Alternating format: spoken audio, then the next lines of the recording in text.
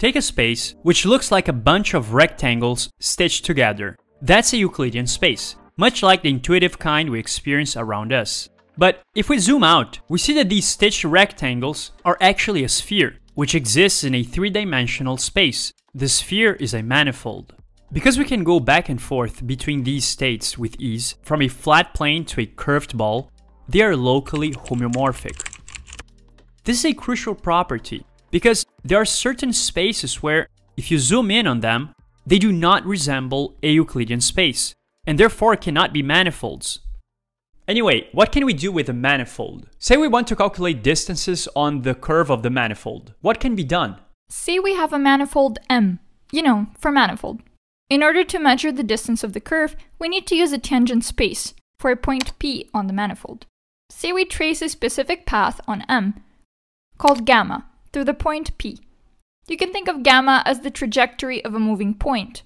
This path is parameterized by t, meaning t is a variable, like time, that allows us to describe the position of the point on the path at any given moment. At a specific value of t, like t0, the point on the curve is at location p on the manifold.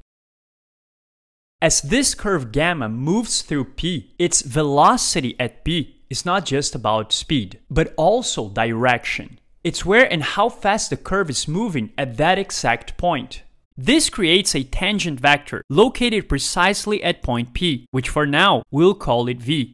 It's like if you were walking along a path and at a specific moment you noted your speed and direction. That's what the tangent vector captures.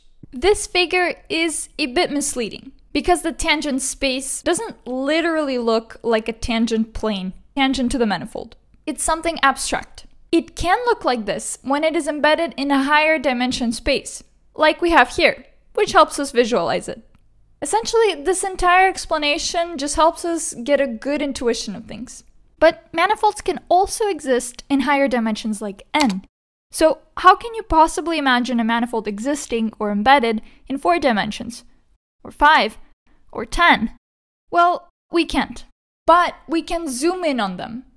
Not in the literal sense, through applying functions on a particular point on that manifold, and work on it in the intuitive realm of a Euclidean space.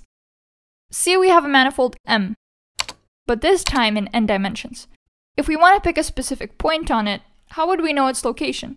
Well, we actually need to create a sort of neighborhood of points, called U, which is formally called an open set. This implies that for every point in U, there exists a neighborhood around a point, which is entirely contained within U. We can pick a point within U and label it P for point. Pretty straightforward. P has some room to move within U without immediately stepping outside U. So P is basically floating somewhere in U. Now let's convert or map U onto a Euclidean surface.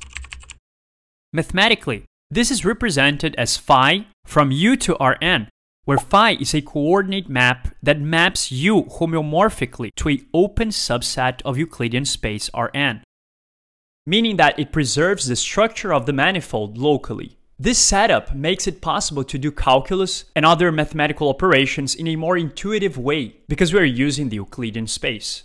On the original manifold, we have a curve that runs along it, gamma, where t like time or any other continuous variable is the parameter. It's represented like this, and it's read like gamma is a map from t to m. Gamma is a function or a map that takes in a parameter t and returns a position, a point on the manifold M. As we established previously, for each value of t, gamma t gives a point on the manifold. If t is thought of as time, then gamma t would describe the position of a particle or moving object on the manifold at time t. The arrow shows that the function is mapping, or sending, values of t to corresponding points on the manifold. In this curve, t ranges from the initial value a and the final value b. It's like starting at hour 0 and ending at hour 10, just as an example. All of this is expressed by t in ab to m.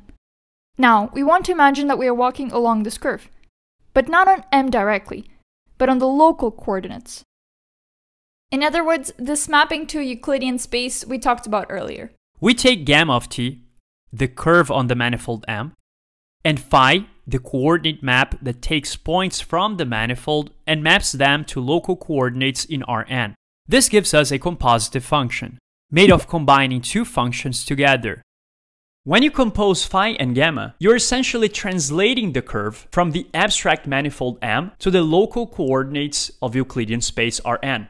So the function phi composed with gamma takes the parameter t and gives you a vector of coordinates in Rn, or the local Euclidean space.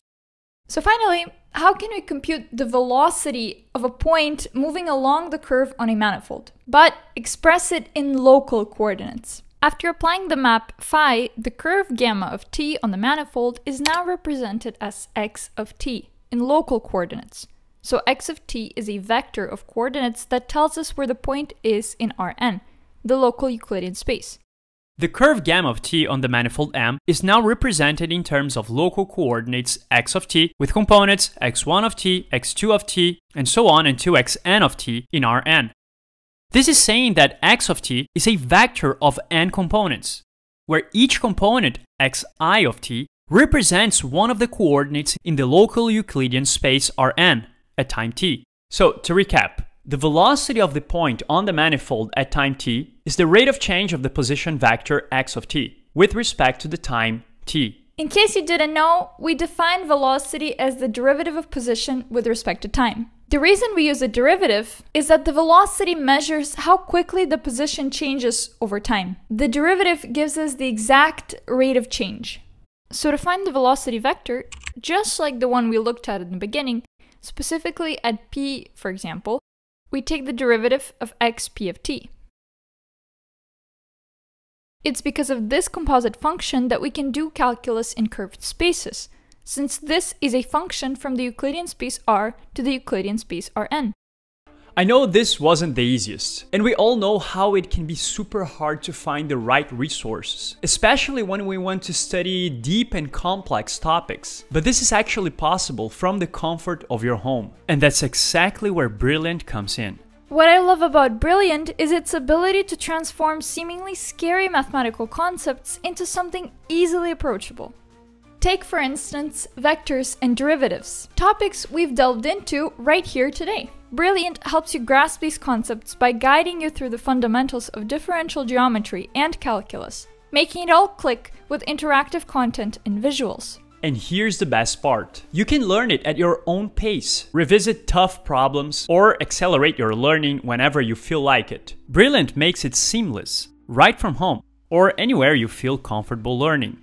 So, if you're eager to dive deeper into math or any other subject, head over to brilliant.org/DiBeos to start your free trial or use this QR code.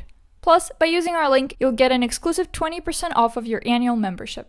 This video was inspired by this article and this book, link in the description. I know this was a lot, so in case you didn't catch everything, know that we've attached a PDF down in the description. Remember, that's the only way to learn math, by doing it and practicing by yourself over and over again until you eventually get it. If you like this video, check out this one. See you there.